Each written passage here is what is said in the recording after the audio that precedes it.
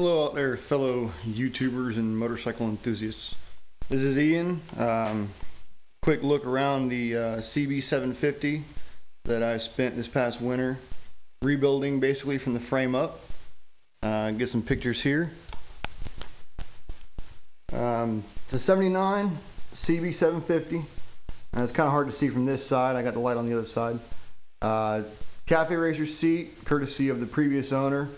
Kind of a backyard job there, but it's somewhat comfortable. Got a little bit of neoprene on there for a seat. Um, stock tank, just repainted it, put some pinstriping on it. Um, front end, I uh, sourced a complete front end off an 82 750 Nighthawk. Um, gave me the dual disc brakes and the 37 millimeter forks as opposed to 35 millimeters. Gauges are stock. Um, just kind of clean them up a little bit. Uh, and yes, that is the correct mileage on there. It is a 15,000 original mile bike. Somebody obviously didn't ride it enough. Uh, tail section got a, uh, a, custom tag bracket off to the side. Vertical mount. Haven't been stopped by the cops yet, so apparently it's not illegal. So let's just keep on hoping that stays the way it is. Uh, tail lights are all integrated into the seat. Uh, progressive rear suspension, four-way adjustable. Um, rear wheels and the front wheel I got off the Nighthawk as well. They're uh, inky aluminum one-piece mags. Still got the drum brake in the rear. I don't ever use the rear brake anyway, so doesn't really matter if it doesn't stop or not. Uh, rear sets, I sourced those off of a uh, Ninja 500R sport bike. Welded some brackets onto the frame when I had it tore down mounted the rear sets.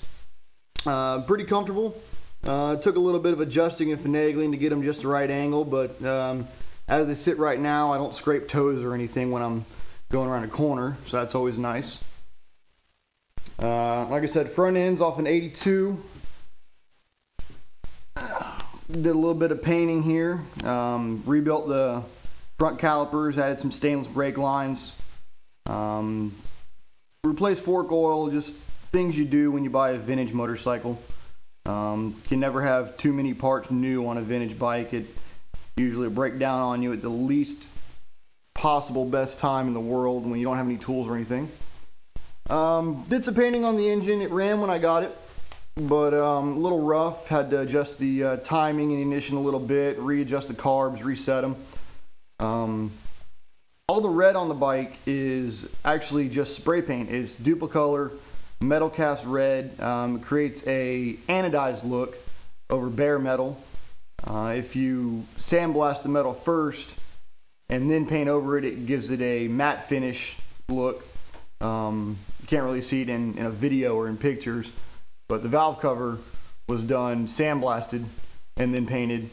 And then the engine casing covers were all just polished up and then painted over with metal cast. Um, a little bit about the bike itself. Got a 4 into 1 header on the front. Not sure the brand because there was no tag on it when I bought it. Got a um, chrome muffler um, from one of the guys from the Do the Ton website. Uh, real nice guy sent it to me last year when I was going to go up to Tennessee to run the Dragon with a group of guys from Do the Ton. And my muffler was basically run over in the road after my clamp failed. So I needed one quick, and he was nice enough to send one down, even though he couldn't make it down there. So really good guy. Um, sent a little care package. Um, carburetors are not stock. They're Keihins, but they're VB series instead of the stock Keihins. Um, they're off a 83 uh, VTX, I believe, 750. Um, pod filters, as you can see, took a little bit of tuning to get those just right. Uh, you throw the pod filters on there, and you got to replace a bunch of jets and retune it and resynchronize it and all that good stuff. But it runs okay. Um, the frame itself was done in texture metallic duplicolor. All the paint on the bike is duplicolor. I sound like a spokesperson for it, but I'm not, I promise. Um, engine was done in 1200 degree high heat uh, gloss black duplicolor. Frame was done in texture metallic duplicolor. All the red was done in duplicolor metal cast red. The uh, the headlight is actually an aftermarket part because my original Stanley headlight finally broke. So I ended up buying a brand new Bosch headlight from Dime City Cycles. Great bunch of guys, just in case you were wondering. Um,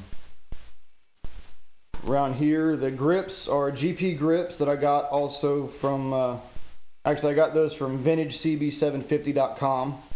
Another good website, fast shipping and everything.